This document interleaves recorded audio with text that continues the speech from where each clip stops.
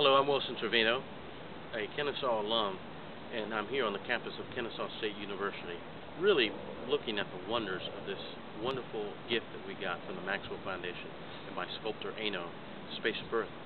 It not only touches me, but it hopefully it'll touch you in making you realize that we live on this blue marble. We need to take care of this earth that we live in, and together we can come and save our Mother Earth because we live in the universe, one voice.